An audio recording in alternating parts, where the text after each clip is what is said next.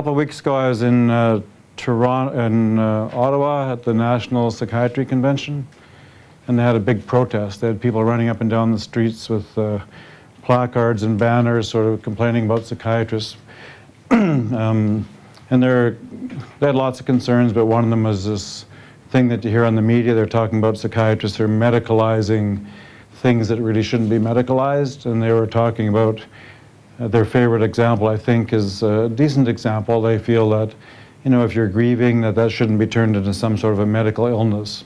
So part of that is connected with some changes that come out and come out in our latest diagnostic manual, and part of it is an understandable thing that they're not really understanding the process of diagnosis in psychiatry. So I thought that I would tell you uh, before I start talking about anxiety disorders that you know, in the world of psychiatry, when we diagnose things, we have a, we have a manual called the Diagnostic and Statistical Manual of, of Disorders. And it's important to understand that the title is that, and the title is about disorders. And a disorder is different than an illness.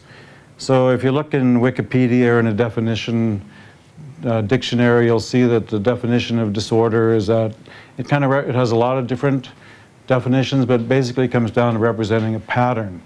So in the world of psychiatry, what we're typically doing is we're seeing, as we look around the world, that people in all the different cities and all the different countries have patterns of symptoms that are similar. And they have courses of the evolution of these symptoms over time that are similar. So you see people in Red Deer that have emotional symptoms that fall into constellations the same as what they do in Edmonton and Czechoslovakia and everywhere. So the book is designed to put together um, our representations around these patterns. Um, for the most part, our textbook doesn't talk about diseases in the sense that we believe that we understand exactly what chemical problem is wrong in exactly one part of your brain. and a lot of the things, if you think about it, that are diagnosed in psychiatry, like separation anxiety, are clearly not diseases and illness. There's, they're psychological phenomenon. So so I wanted to sort of explain that, that we are kind of in the business of talking about disorders until we get to the point where we can really say this is a disease. And we have some illnesses in psychiatry that really appear to be diseases, and we have lots of things that we're researching more and more about that clearly are things that cause lots of problems for people in the world and in our community, but we don't yet really understand the biology or the neuroanatomy behind it, so we classify them as disorders. And so we have this textbook uh, that I mentioned that over the years has gone through multiple revisions. And only recently, in the last three months, they've come out with a new edition, I think in the last, first edition that's new perhaps in 10 years. And now we have the Diagnostic and Statistical Manual of Disorders, edition 5. So it just came out. So in preparing this talk, I had to decide if I was going to talk to you about the anxiety disorders as listed in the fifth edition, which is brand new and not many people are using it yet, or whether I was going to talk to you about the anxiety disorders from, from the old book, which officially is defunct now. But of course, as with all books, uh, it'll be six months or a year before this new book is really in common use and before everybody's familiar with it. So I felt that I would try and do a bit of a blend of talking a bit about the old and the new. So I've tried to put them both together into this presentation, and I'll kind of explain that as I go along, and hopefully, hopefully it'll be nice and clear. So let's go ahead with this uh, then. So this is the fourth edition, Anxiety Disorders. So these, this is the book that still is in common use and will be probably the book that will be most commonly used for the next six to 12 months. And these are the anxiety disorders that are listed in that edition of the book. So we're going to go through these various anxiety disorders individually and talk a little bit about what they're all about. And ultimately, at the end of this talk, or towards the end, I'll talk a little bit about what we hope to do about these things and how we treat them and where they come from and things like that. So we'll just proceed through them one at a time. So I'd like to talk about generalized anxiety disorder first, usually when I talk about anxiety, because I think it just you know, when we think about anxiety, we think about, you know, people that are very nervous. And this is kind of what generalized anxiety disorder is. So in our book, uh, in order to make a diagnosis of generalized anxiety disorder here or in Europe or wherever we make this diagnosis, this is what we do. We would say that our patient has excessive anxiety and worry for a minimum of six months, and And then they have a few of these possible six symptoms. So usually these are, we all know these people. Um, sometimes it's pretty evident that you're dealing with somebody who's, you know, very significantly anxious. This illness occurs or this disorder occurs in very young people. So you see it in schools and you see it in 13-year-old kids. You see it in 60-year-old people. So these people are very anxious, they have excessive anxiety, they tend to be kind of restless and they feel keyed up, they get tired easily, they have difficulty concentrating, they're irritable, they have muscle tension, they have headaches, neck aches, they have trouble sleeping. So a lot of this uh, is fairly easy to understand, I think. Um, these people feel kind of stressed. They get, I think people are often surprised that, because when you think about your anxious friends, you know, often we think that of them as having a limitless energy because they're bouncing around and they're full of anxiety, but this is very tiring. To be anxious most of the day, every day for months is exhausting. So these people are exhausted, but because they, they have a lot of anxiety and they lay, they lay awake at night and they worry about things, they have trouble falling asleep, which sort of adds to their tiredness. Um, I think that's all I'll say about that. So this generalized anxiety disorder occurs in about 5% of the general population. So it's pretty common really. On average, it begins in adolescence. So this is pretty prevalent in our high schools and in our junior high schools um, in young kids. So, you know, these again are the young kids that are in our schools that are very anxious, that are often awkward about asking the teacher for help. They're shy. Sometimes they're picked on. People notice that they're anxious. So, you know, these are the kids that we need to try and get in there and help these people at a young age. This, this, these are often detected in childhood, and out of all the people that have this illness, only about half of them get treatment. And out about the ones that get help, only about 50% of them are properly diagnosed and others are not. So it's pretty common. 80% um, of these people have a coexisting mood disorder, which is another way of saying that when they research this epidemiologically and try and figure out how common it is and what countries it's more prevalent it is in, et cetera, et cetera, that 80% of people that get this diagnosis, they come into the doctor's office with a depression, usually as well as an anxiety disorder. So if you think about that, it sort of means that a huge percentage of people that have generalized anxiety disorder seem to survive it pretty well. And if they only have generalized anxiety disorder and they're fairly anxious people, but they're not suffering a mood disorder, often they seem to manage and they go through life often without coming for help. So we see them when they come in having a depression or some other form of mood disorder. So we're going to talk about treatment more at the end of our hour. Um, but generally speaking, we use antidepressants uh, as the first line of treatment for this for anxiety disorders. Um, and we'll talk a little bit about why we do that and what, what do we mean, who are the antidepressants in a little bit. These things called the benzodiazepines, uh, which probably people know are things like Ativan and Valium and Librium, um, are usually the second choice for therapy, kind of if the antidepressants don't work or if the antidepressants work sort of, but not great, then often we'll put a bit of this on top of that. And we have some other treatments that are used um, sometimes when we're not having much luck with the sort of preferred treatments. Some of the newer anticonvulsants, and that'd be things like gabapentin or pregabalin, which is Lyrica. Lyrica is becoming quite popular these days for treatment as an anti-anxiety med.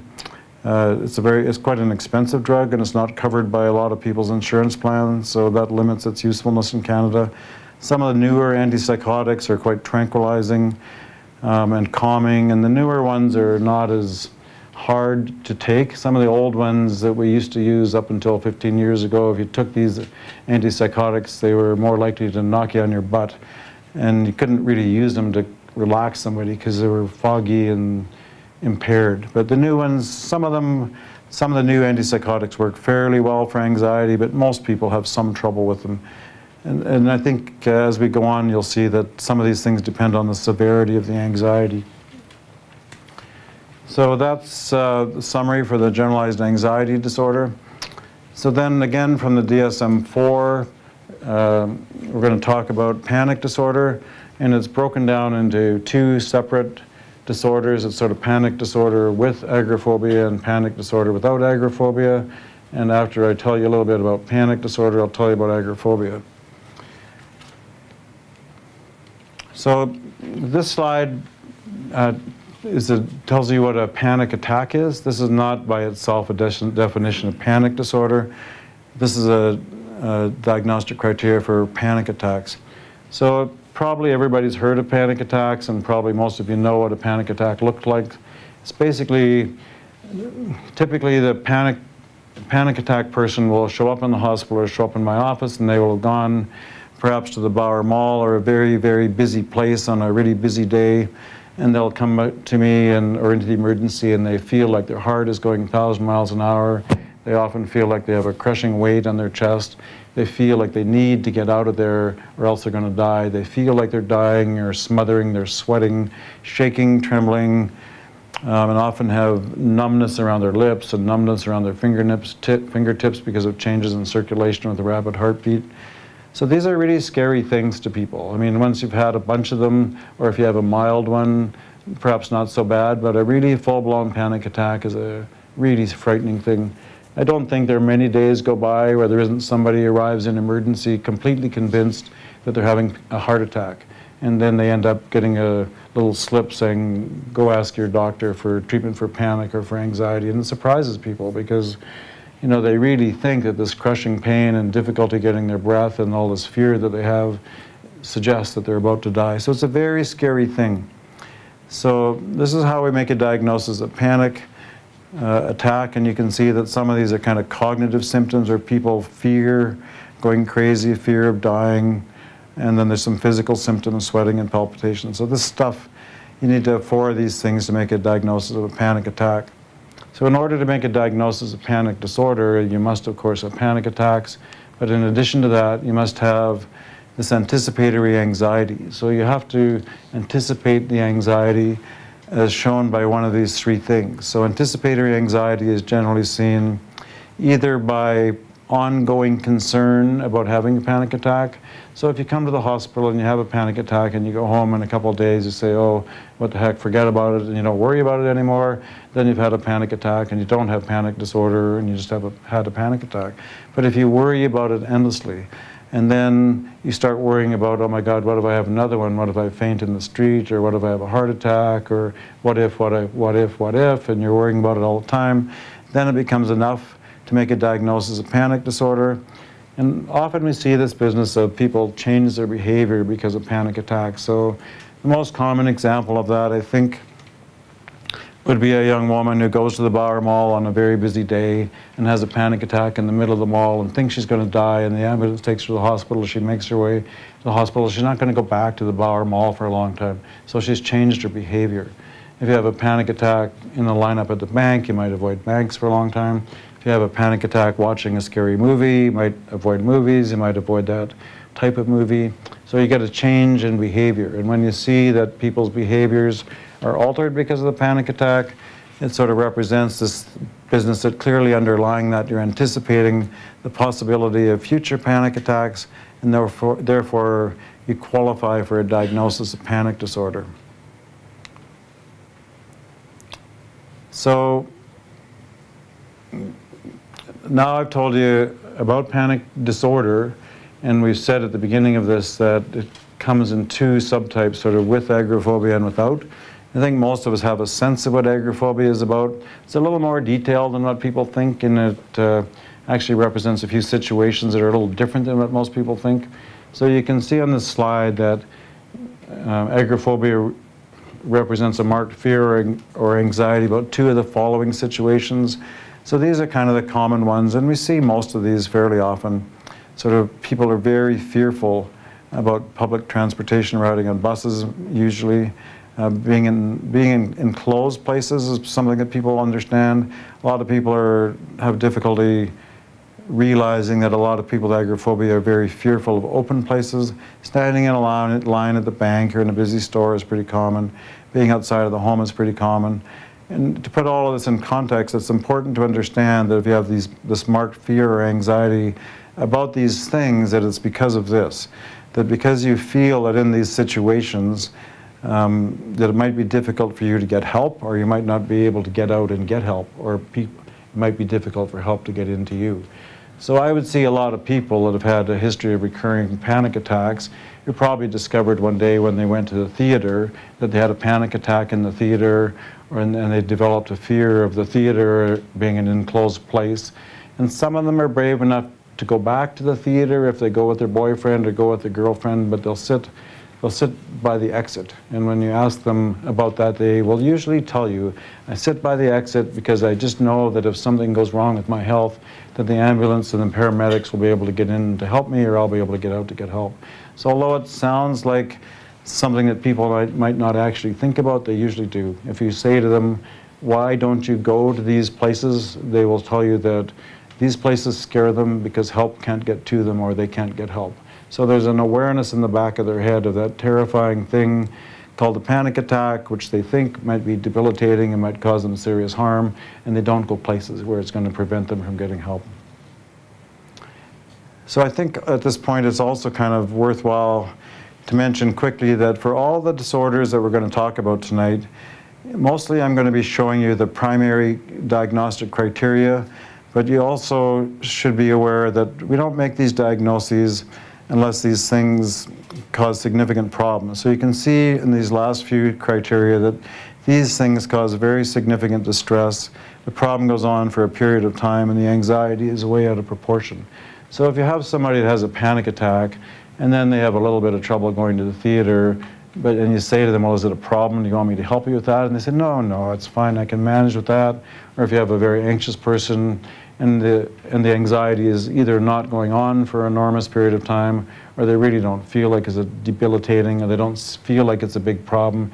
Nobody should, making, nobody should be making a diagnosis there or saying this person doesn't have a problem. Basically, if they say it's not really a problem for me, then we wouldn't diagnose this without somebody saying this gets in the way of my life. You know, this causes me significant distress. So I think it's important to know that because as we go through these slides, any of you that have ever had any kind of anxiety will be able to re relate to a lot of these slides. And a lot of people, you know, you have the sort of medical student or nursing student phenomenon where you think, oh my God, all that sounds like me. But it, we don't diagnose this stuff unless it truly seriously causes a problem. Because these are normal things for people to have anxiety. They're normal things.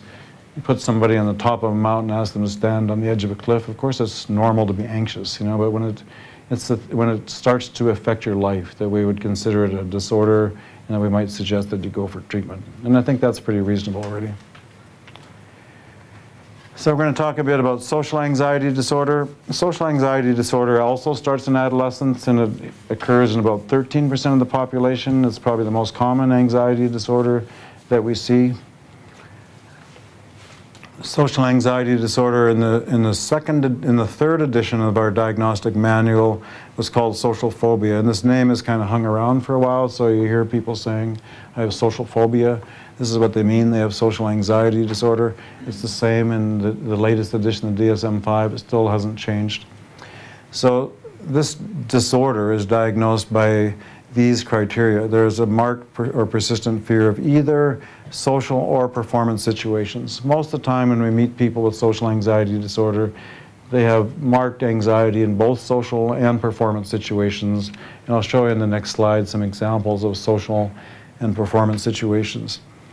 So in these social situations, for example, some young woman walking through the Bower Mall, and she feels anxious because she's in a social situation, she's not thinking that people are looking at her and appreciating her dress. She's thinking that they're looking at her and thinking she doesn't look too good or that she's overweight and they're, they're, she's fearful or apprehensive about the negative evaluation or the scrutiny that she feels. She feels perhaps a sense of threatened humiliation.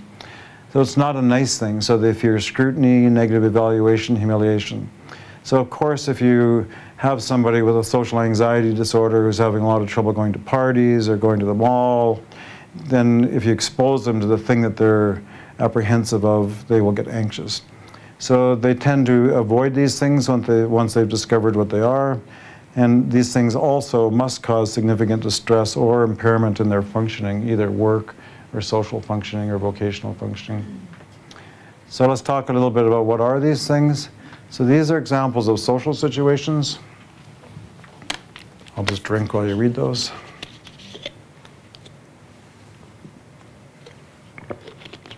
So most of them, I think, are pretty uh, straightforward, really. People with anxiety disorders in the social uh, realm have trouble going to a party. So, you know, where you see that as you get some uh, a new couple coming to town and then they're supposed to go to some party and socialize with three or four other couples that the husband has never met before. So he feels awkward going into the social situation and meeting all these people because he knows that he's going to be expected to talk. And he knows that when he speaks, it will bring attention upon himself. And I'm not saying that's a conscious thing, but you know, I think we all can relate to that. Some people are very comfortable, comfortable going to parties and gabbing, and other people are less comfortable. So when it gets to the point that it's a problem, um, it can be one of the symptoms that we see in social anxiety disorder. Going for lunch with your girlfriends or with your guy friends or going to the bar and you know that you're going to have to make small talk, if, you, if, that becomes awkward for you and you start avoiding those things and you change your behavior because of that, it can fit in with social anxiety disorder. Dating is another thing that people often don't sort of realize, but clearly when if you're a young girl and you go out on a date, you're aware that whoever you're dating is going to be checking you out and scrutinizing you and uh, it's another place where it causes some problems because if you have social anxiety disorder and you feel like every time you meet some new guy and he invites you out on a date that you're going to be so nervous and he's going to think you're fat or not, not like your makeup or not think you're smart and then you don't go on a date, then of course it causes problems. Other social situations, things in kids, because as I said before, this begins in adolescence often these are kids that won't stick their hand up and ask for help. They won't walk to the front of the class because these things bring attention to them.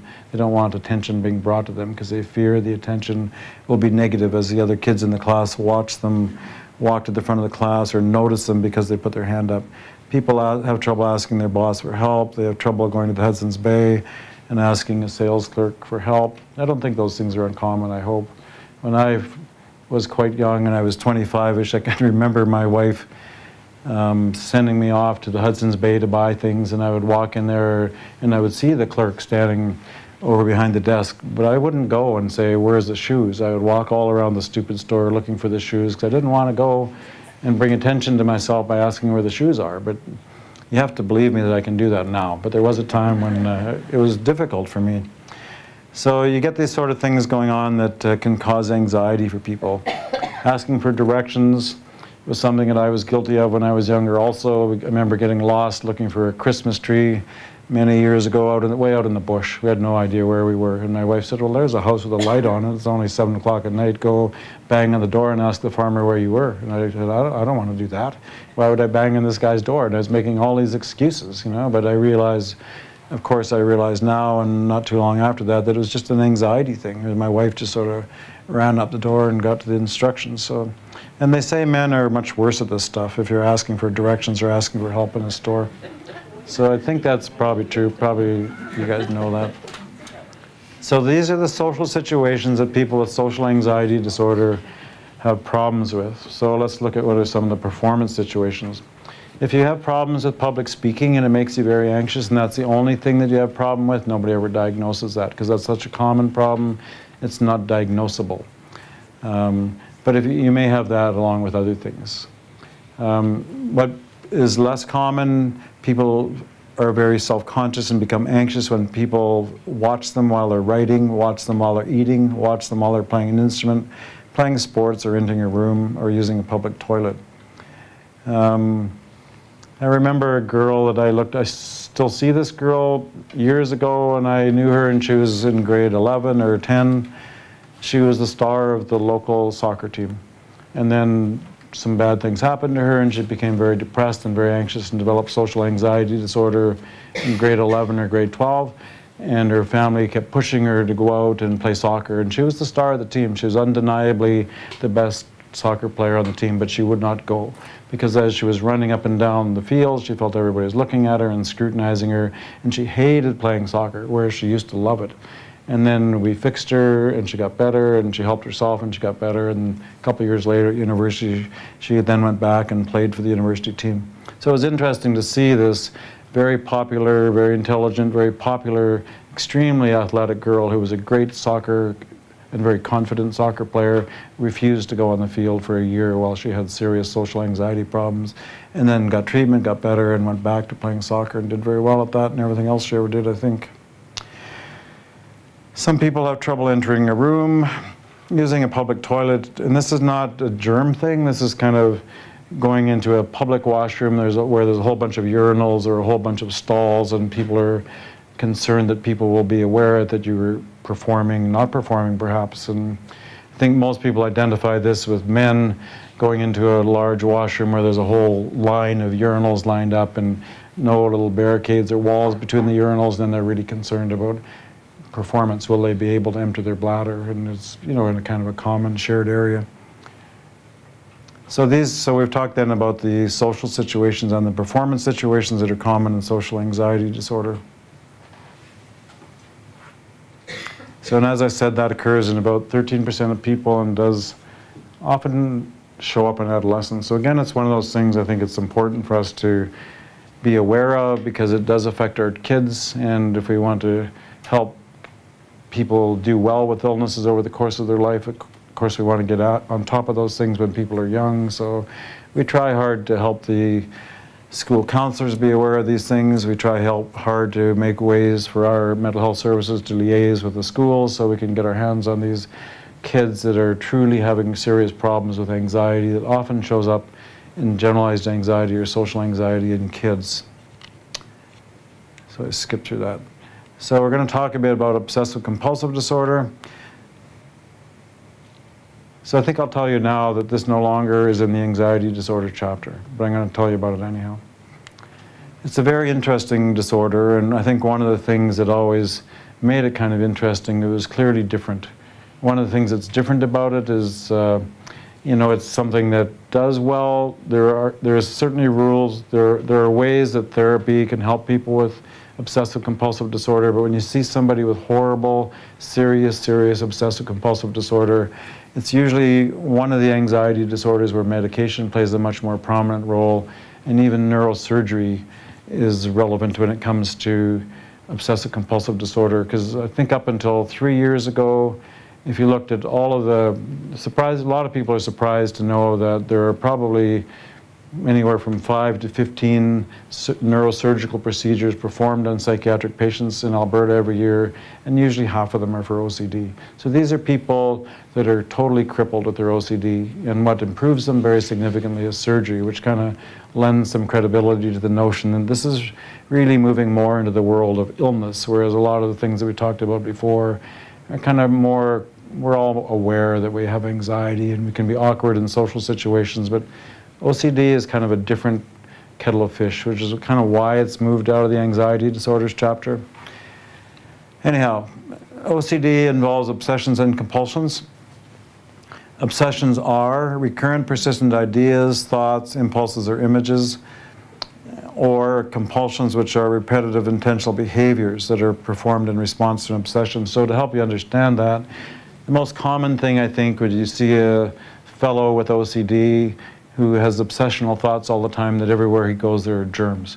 And he worries and he's panicked about all of these germs. So in order to deal with that, he engages in compulsive hand washing. So he washes his hands 25 times after breakfast and 25 times before lunch and 50 times before he goes to bed. And so you're, you know, you're reducing the anxiety by some compulsive activity and the anxiety that comes from your obsession. So your, your, obsession, your obsession would be that you're surrounded by germs and somehow these germs are going to cause you some problems. And the compulsive act that you would engage in to reduce your anxiety is the hand washing. In order for this to be diagnosed, it has to be time consuming, has to cause marked distress, and it must interfere with your life. So looking at some of the more common sorts of obsessions and compulsions, the most uh, common one is contamination. So, as I said, people get concerned about germs, very concerned about germs and cleanliness. So, you know, if you're worried about uh, germs and your anxiety is through the roof all day long because you think there's germs everywhere and the germs are going to get on you and cause you problems, and what you do is you engage, engage in compulsive washing. Pathological doubt is very common. You can see 42% of people have pathological doubt. It's almost as common as the worry about germs. Pathological doubt comes in a lot of different forms. The most common thing that we all can identify with is people leave their house and then they worry that they didn't lock the door, or they worry that they didn't turn the stove off, or they go to bed at night and they wonder, did I lock the door, did I close the window, so they get up and they go check it. So I have a girl that I still see who used to come with me and talk about OCD when we were asked to talk about OCD, and she used to tell this interesting story about, uh, you know, for her, she would get up in the morning and she would go off to work and then she would go back to see if she had left her the iron. So she used she would get up in the morning, she had to iron her underwear and iron all her clothes, and then she would leave the house. But she would come back to see if the iron was turned off. So she'd go back in and I think touch her hand on the iron to see if it was cold or something, and then she would leave. But then she would start having pathological doubt and she would go home again. And when she went home the next time, she would be looking to see if the switch was turned off or on, then she would leave. And the last time she went home, she would actually run her hand all the way down the cord and make sure that it wasn't plugged into the wall and unplug it. So she's checking and checking and checking based on pathological doubt. So it's very common, checking the windows, checking the doors, checking all sorts of things. Uh, somatic uh, obsessions are pretty common. Uh, and they're kind of hard. They're, I have a girl in the hospital now who I think we could fairly say has, we see a lot of somatic people. I have a girl in the hospital now that, you know, she comes into the hospital and among her other complaints, she feels like she's sore all the time. When she gets out of bed, she has a stiff neck. All of her conversations with the nurses and the doctors are around, can I get painkillers? Can I get muscle relaxants? Can I go to physio? Can you get somebody to come and look at my sore knee? And you know that there's nothing wrong with her knee, that her neck certainly didn't get twisted when she got out of bed this morning, that you know, that for some reason this girl is consumed with thoughts of aches and pains and bodily dysfunction and problems. She's looking for doctors to check her from top to bottom, looking for painkillers, looking for antibiotics, and looking for all sorts of stuff. And you know, I think you could sort of wonder, is she attention seeking? Is she whining? Or what is going on with this girl? But she really, truly, when you get to know her after a while, is obsessed with this whole business of somatic problems. And you see that, and these become the hypochondriacal people that frequent doctors' offices. And sometimes when they're severe, they get taken seriously, and people say, well, there goes a hypochondriac, let's send her to get some help. But when you're somatic concerns are kind of moderate and you're always talking about sore this and sore that and belly aches and belly pains, people don't take it very seriously. And sometimes perhaps you shouldn't, but it gets missed fairly often. So people also get obsessed about uh, symmetry, so that's kind of the business of having 12 things on the left side of your desk and 12 on the other. Often uh, people are, you know, you'll see girls that they want they'll go to the plastic surgeon and say, well, my nose isn't quite dead in the middle of my face and I want it to be more symmetrical. So then the plastic surgeon will fix this little nose and everything you think will be good, but next year they're phoning and saying, well, my left breast seems to be a little bigger than my right. And then so maybe he'll do something about that or maybe not, but the third time he calls, then he usually phones me because these people don't stop because your body isn't meant to be symmetrical, it's not symmetrical, and these people are going to go to surgeons forever. And sooner or later, the surgeon's going to get sued because you can't do a perfect job and make these people happy because their obsessions persist. People sometimes have aggressive obsessions which are concerning because they just want to go out and do aggressive things. Sexual uh, obsessions are often misunderstood. I think if you look at uh, incarcerated pedophiles, 40 to 50 percent of them have OCD. they have diagnosable OCD. They're obsessed with thoughts, inappropriate sexual thoughts or inappropriate sexual images of young girls or young boys. Um, and then they end up in jail. And it doesn't, I'm not suggesting that somebody should treat them and let them out of jail, but while they're in jail, somebody should try and treat them. And then most people have multiple obsessions. So you can see again with the compulsions, we have checking, washing, counting, um, and hoarding. So, and again, multiple. Um, okay. So post-traumatic stress disorder, I'll tell you also, has now been moved out of the anxiety disorder chapter in the next edition of our manual. Post-traumatic stress disorder everybody's heard about. It requires the experience of a traumatic event with a sensation of horror, helplessness, or fear. So these are usually in the United States, these are young guys going to war that see their friends getting blown away and they experience this horrible, horrible event. So of course, in order for there to be a post-traumatic stress disorder, there must be some perceived life-threatening event. It doesn't make any difference if your life was truly in danger. You have to believe that it was. I you see people who really, in the end, it looks like they weren't in any danger, but they thought they were going to die. And then they develop a post-traumatic stress disorder around that. So in order to make a diagnosis, there must be a traumatic event. In, in the States, it's usually a war thing. Canada and the States, rape is very common, physical assault is very common, and watching being part of a motor vehicle accident is very common, witnessing a motor vehicle accident is very common. So the symptoms that people commonly have are re-experiencing the event. So this would come in frequent frightening nightmares and flashbacks. So flashbacks are little visual phenomenon that people have. So if you witness a terrible car pile up on the highway and you see people maimed and hurt and dying, then perhaps three weeks later you will have a little visual flashback where you actually can envision the scenario in front of your face again. Or it's common, curiously, when people are sexually assaulted, for them suddenly to have a flashback and see little bits and pieces of the trauma and actually see it as a little bit of a movie for three seconds. Um, so re-experiencing is one of the symptoms we look for to make this diagnosis. Avoidance phenomenon is important. So if you were riding your bicycle through Rotary Park and some guy dragged you into the bush and scared you half to death, you would avoid Rotary Park, I hope, right? So avoidance is sort of common sense, but you might also avoid movies where girls are being hurt or boys are being hurt. You might avoid riding a bicycle. You might avoid the whole west side of town or something. So people do changes uh, that are connected in some way to their trauma. People have numbing symptomatology, which is kind of an interesting thing where people, after a horrible trauma like that, they don't typically get over the next month they become numb or there tends to be a numbing. So their ability to laugh and have a wonderful time is impaired. Their ability to cry and be very sad is impaired. And sometimes you go see these people in consultation a week after some terrible terrible thing has happened and you might think that this person is going to be very sad and very crying very sad but they're just numb. So numbing is a really quite a common thing in PTSD they also have increased startle reflexes, so their anxiety levels are high. You come up behind them and make a loud noise, they'll jump twice as high as most of us. And it must interfere with their functioning, and their symptoms must go on for more than a month in order to make a diagnosis of post-traumatic stress disorder. So there's another diagnosis in DSM-4 called acute stress disorder, which is exactly the same as post-traumatic stress disorder, except this is a mistake, that shouldn't be there.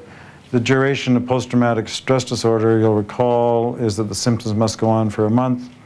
And in acute stress disorder, it has to be less than a month. So a couple days up to four weeks. So when we see somebody in the emergency, said some horrible trauma, experiencing all these things, the trauma was a week ago, they don't have PTSD yet.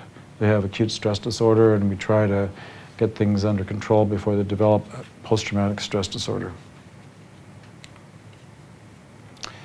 So not surprisingly, 55% of the United States population will experience a major traumatic, traumatic event at some point in their life, but not everybody develops PTSD, of course. People that go to war, not everybody develops PTSD.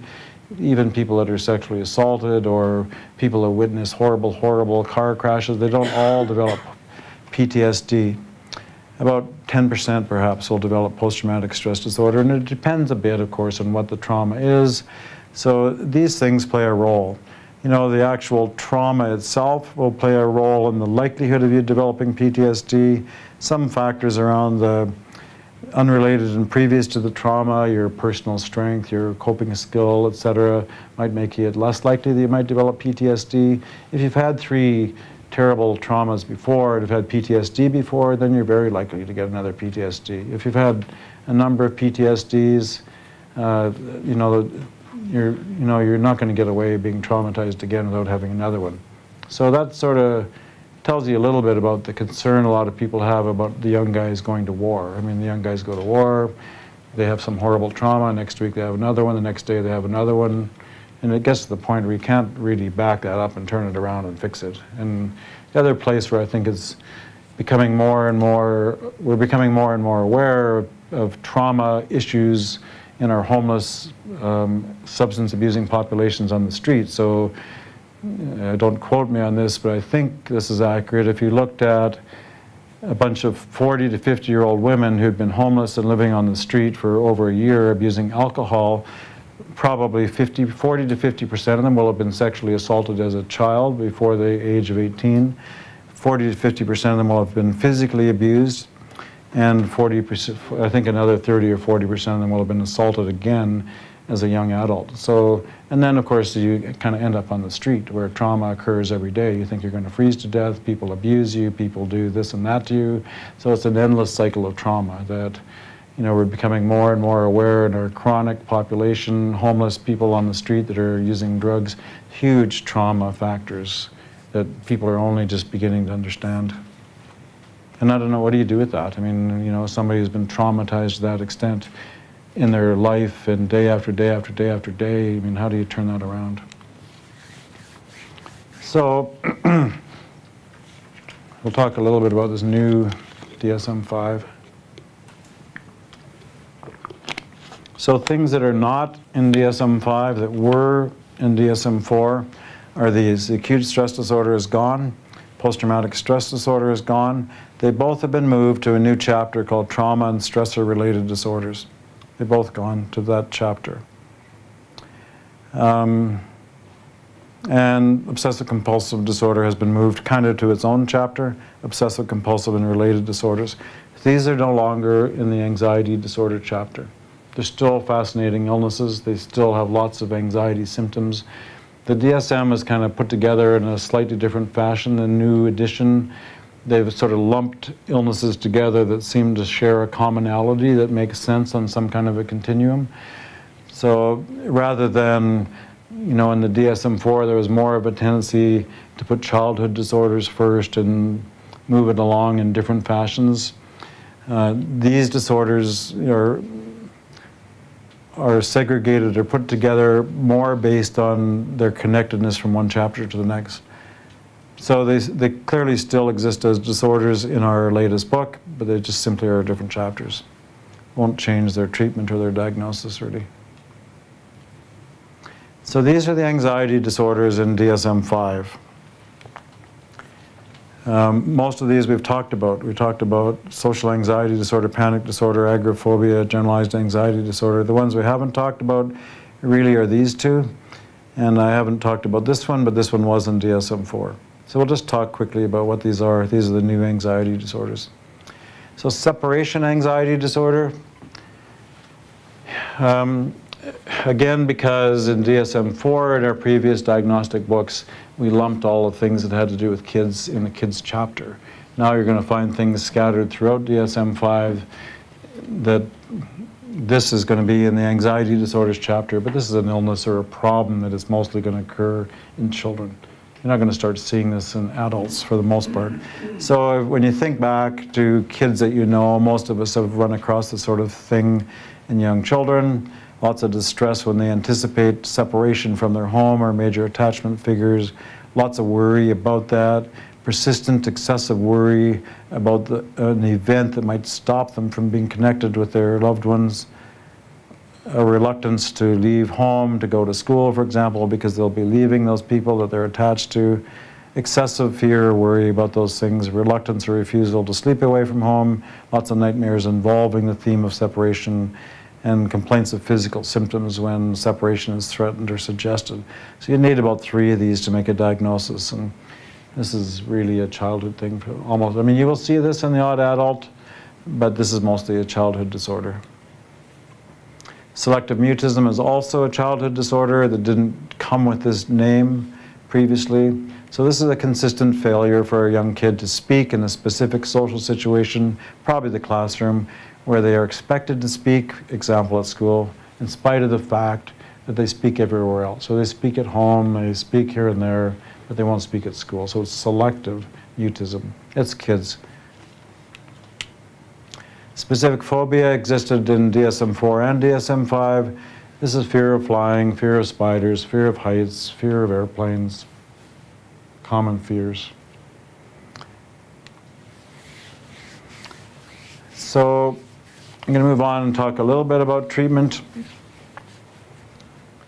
So this is kind of my disclaimer slide. I always try to remind myself to point out very energetically that in psychiatry, there's evidence and research to support the notion that psychotherapy is probably as effective as medication in the treatment of anxiety disorders. So there are some differences. If you have social anxiety disorder or generalized anxiety disorder, it's probably fair to say that a good therapist could, could probably do as much for you as a proper good medication.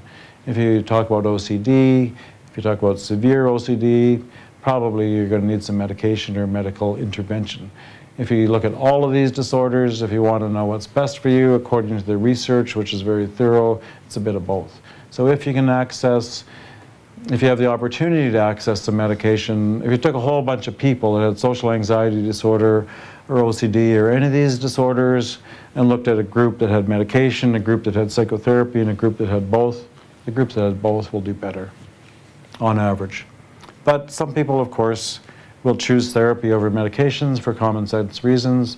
Some people will choose medication because it's hard to get in to see a therapist, it's expensive to see a therapist, and they're not hard to, they have long waiting lists in most cities, but in Red Deer we do pretty well. But it's important to know that these in general are equally effective. I don't want to be standing up here sounding like I'm running some kind of a drug commercial because I'm not intending to do that. But, so we'll talk about drugs a little bit. In the treatment of anxiety, there are lots of guidelines around the world. How do you treat anxiety? Australia has them, Canada has them, Europe has them, the US has them. In Canada, uh, you know, they're all really pretty much the same. The number one recommended drug of choice for any of these anxiety disorders is a group of antidepressants called selective serotonin reuptake inhibitors. So these are them. Prozac, Luvox, Zoloft, Paxil, Celexa, and Cipralex. And these are their trade names, generic names. And so these are the ones we have. We got a few more coming down the pipe. They work by selectively working on serotonin, which results in an increase in serotonin in your brain and certain specific regions in your head, which allows for improved central nervous system function. They also have some action on other neurochemicals in your brain. They work in anxiety. They're pretty safe in overdose. They're pretty safe in pregnancy. They're pretty safe in breastfeeding. So they're pretty good drugs. They're, they're well tolerated. Most people have few significant side effects. Uh, you can use them in pregnancy. You can use them in old people. You can use them, they don't interact with many other drugs, and their success rate is not too bad, especially if you combine it with psychotherapy. These are not magic pills. They don't cure everybody with anxiety problems. And most people I find with anxiety problems in my mind, when I see somebody with a significant anxiety problem, if I can reduce their anxiety with a medication by about 40%, I'm pretty happy with myself. When I get people that I can eliminate their panic attacks 100%, you know, then I'm really happy with myself. But you're not, uh, more often than not, you're looking at improving things quite significantly and then doing some kind of counseling or psychotherapy, which can be fancy and sophisticated or fairly simple to do the rest. Or some people just manage. I mean, if you can bring somebody's overwhelming anxiety down by 50%, often you're left with a person who has an amount of anxiety that they can live with. And then, of course, they can go for therapy, as I've said about six times. So the side effects of these things, for the most part, they're well tolerated. 5 to 10% of people will have side effects such as nausea, diarrhea, headache, or a bit of restlessness or anxiety, a bit of difficulty falling asleep. Side, sexual side effects are very common. Probably 50% of people have some sort of sexual side effect from this particular drug. So we always kind of try and remind family doctors to ask about the sexual side effects, because partly because it's really important. I mean, I think there was a time when I was a lot younger where people just thought, well, we're not really going to talk about that because it's awkward. But now I think people realize that this is very important stuff. Sexual functioning is very important. Doctors need to talk about it. Patients are more open about it. People, patients want to talk about it. Um, and you know, they, people who have impaired sexual functioning, it creates all sorts of problems. The other thing that happens if you have an illness like anxiety or an illness like depression, sometimes it impairs your desire to be involved sexually, might impair your performance in various ways. And then you get stuck on a medication that has potential sexual side effects. It's difficult sometimes to distinguish which is causing what. So you kind of, when you're assessing your anxious or depressive patient, you want to know do you have sexual problems? Then you give them a drug that could cause them sexual problems. So sometime, sometime down the road, you need to be able to establish with certainty what the cause of the sexual problems were so that you can hopefully fix them. Other antidepressants that are not SSRIs are these. These drugs, Wellbutrin works on norepinephrine and uh, uh, dopamine.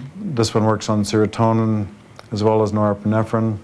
These are work on various mechanisms. The, if you look at the, what is the research for these drugs in the treatment of anxiety disorders, still by far the SSRIs come recommended number one. This drug doesn't have a whole bunch of use at all when it comes to anxiety disorders, Wellbutrin. These drugs, like Effexor, Cymbalta, and Pristiq, which work on serotonin and norepinephrine, have a fair bit of evidence to support their effectiveness in anxiety disorders. Some people use them as a drug of choice for anxiety disorders. The sort of overall world research would suggest that the SSRIs are better, SSRIs are a bit better tolerated. But if you try an SSRI and it doesn't work very well, you might try one of these other things. So these, the, the, these drugs on the SSRIs are pretty good. There's more and more emerging evidence for this drug, Remeron, uh, in the use of anxiety disorders. It comes with problems. This drug, in most people, probably more than 75% of people, is quite sedating. And in most people, it causes significant weight gain. So we don't, I don't use a whole lot of it because, you know, if you cure somebody's anxiety and they come back in six months and they've gained 30 pounds and they're not going to take your medication, it seems like a pointless exercise. But if you get really stuck, it's a pretty effective drug, and if you're lucky, your patient won't get those side effects. These are very old drugs. They are very effective for depression. These drugs are actually very effective in treating anxiety, but they're very complicated drugs. They have endless side effects. They're difficult to work with, and they're not used very much anymore except for people my age because we used them a lot when I was young because they were very effective anti-anxiety drugs. And now we just have safer drugs and drugs that work probably almost as well. So it is important to know that each and every antidepressant will have side effects. That doesn't mean everybody will get them, but they all have potential side effects. Um, and it's also important to know that if you understand how these drugs work, if you know that this drug you're about to take increases serotonin, works a bit on acetylcholine, and works a bit on histamine, that the acetylcholine part will give you a dry mouth and the histamine part will make you gain weight and make you sleepy. So if you understand how your drug works, you can predict not only what the effect will be, but what the side effect will be. So you kind of move down this road and think, well, okay, I have this lady here, she's lost 50 pounds, she hasn't slept for three weeks, why don't I give her a medication that will make her sleep and help her with her appetite? Which is not a bad idea, but then in six months when she's better and she's sleeping well and she's gaining too much weight, then you kind of get into a problem. But we kind of, we went through that thing for a while where we knew that all the antidepressants had kind of an equal chance of helping you with your anxiety. So we thought, well, why not pick one there where we can put the side effects to our advantage or to the patient's advantage. So we still see people doing that a lot. For myself, I tend to go with a drug that I think is most likely to work, and I don't personally try to get a whole bunch of benefit out of the side effects most of the time. Some people do. So other things that we sometimes use, so when you look at the treatment of anxiety disorders around the world and ask about what, what recommendations does the research support when it comes to medications, it's antidepressants. So the antidepressants are the number one thing. The SSRIs and the SNRIs, which is Effexor, Pristiq, and, and Cymbalta, have pretty good evidence. Some of the other antidepressants have very poor evidence, some have a little bit. So antidepressants are first line, second line are the benzodiazepines. So the benzodiazepines, as I said, is Ativan, clonazepam, bromazepam, lectopam, Xanax, alprazolam, and a couple others. Those are very controversial drugs. Uh, if you look at what works, the benzodiazepines work really well. People develop tolerance to them. Some people who are addicts or have addictive personalities will become addicted to them. In older people, they can cause, cause cognitive impairment and you might fall and fracture your hip when you're 80. So there are lots of reasons that the world is cautious about benzodiazepines, sometimes good reasons and sometimes, I think when I was young, we prescribed a lot of these things. And then people became aware that they sometimes cause problems, and now I think everybody's scared of them. So I think now we, when I was young, I prescribed way too many, and now when I'm old, I don't prescribe enough. So they're very effective drugs, and I think where everybody would agree, if you have an anxiety disorder, like a panic disorder, you should be on an antidepressant if you can find one that works for you to get your anxiety under better control.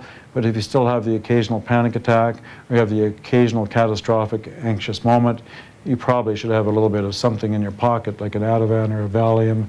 There'd be a rescue medication that you would use occasionally, because those are, you know, to use them occasionally, you don't run any addiction risk, you don't run any risk of being tolerant, you don't run any risk of big side effects. So they can be amazing drugs, they're very effective, they're very controversial. If you have questions about those things, you really need to do some research and talk to doctors because there's all sorts of differing opinions on those drugs. But if you go to the anxiety disorder clinics, and they where they're treating people with kind of treatment resistant, difficult or severe anxiety disorders, they use a lot of these drugs because they are very effective anti-anxiety drugs, but they come with problems.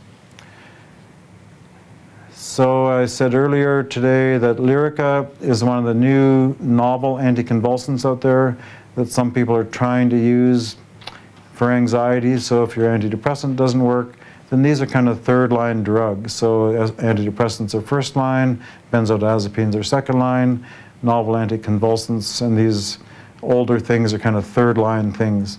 So a fair number of people trying Lyrica. I don't have a whole lot of luck with that. It's expensive. Most people don't get it covered, so that makes it difficult.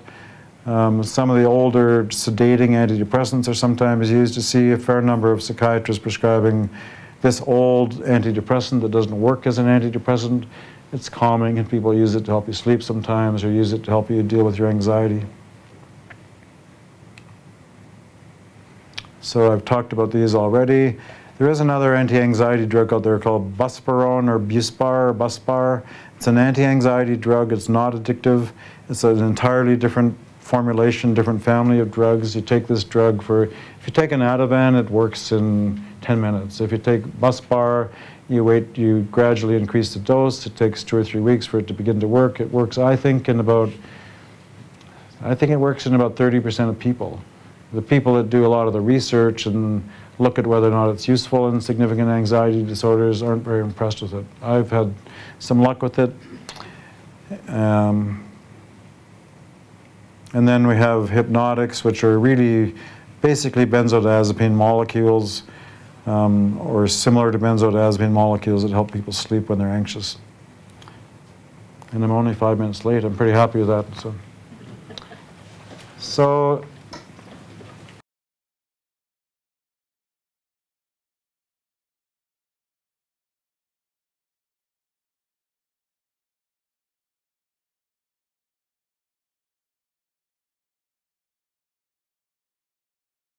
I mean, uh, you know, the, the, the, awkwardness about that is I think the world of medicine is moving into evidence-based medicine. So in order for these days, whether you're talking about cancer or whether you're talking about psychiatry, if you're going to write prescriptions for things or look at what sort of treatment works best, whether it's psychotherapy or EMDR or Ativan, then they want doctors to be looking to the research. So, you know, there's lots of research that talks about SSRIs, there's lots of research that talks about cancer treatments.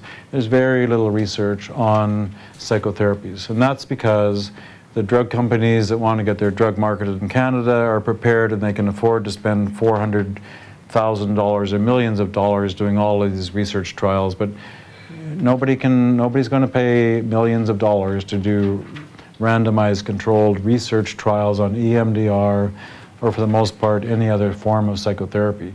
So what you end up with is a whole lot of therapists who realize through their experience that something like EMDR is very effective or interpersonal therapy is, lots of therapies are very effective, but the research really only supports cognitive behavioral therapy and interpersonal therapy, but if you come to our building, or if you look at trauma experts, they're all doing EMDR, right? So, I think the US government is actually doing evidence-based practice studies now on Yeah. EMDR because of the. and some of the small ones are good, you know, but, you know, I guess that's the other thing in, in the world of research. I mean, there's research and then there's research, right? So a lot of these people that market things or push things like EMDR or various sorts of new therapies, they say, well, we did our little bit of research, but, you know, then the psychiatric or medical association says, well, that's your idea of research, but it doesn't meet scientific standards. So, you know, not surprisingly, the medical people and the psychi- psychiatric people all across the world of medicine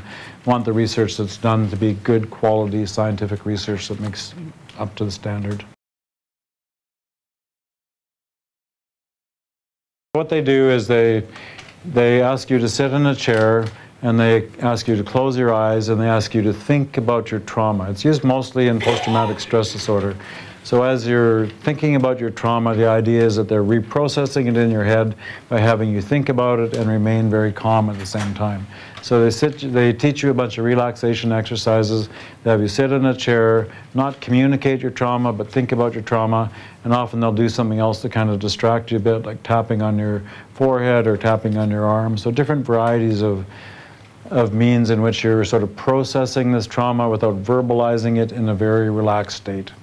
And people think that if you do that over and over, that it will help you take away some of the anxieties and trauma symptoms that come with a.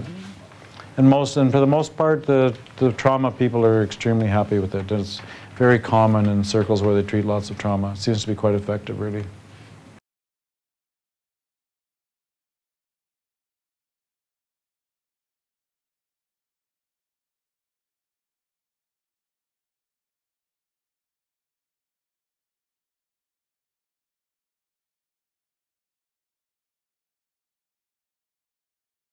They are. Um, the, there isn't really such a diagnosis. There is an, a diagnosis of avoidant personality disorder.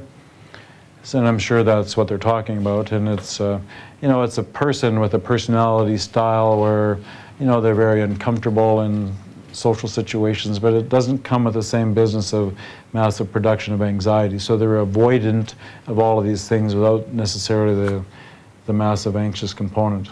So it's a personality style that has to be there from the time you're young, and pers- your personality lasts forever, right? So this is a long-going, ongoing, long-standing style of adapting to the world, which is kind of described as a personality in which you avoid contact with the world, really.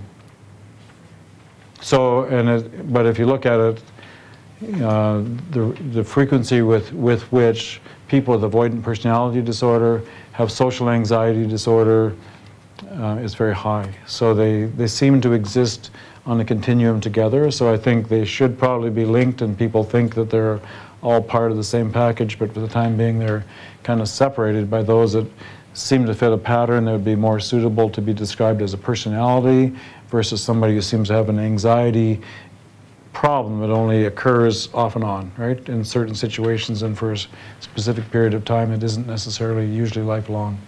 So they're pretty similar. And they often, Would be different. yeah, lot, some similarities, but differences too, yeah.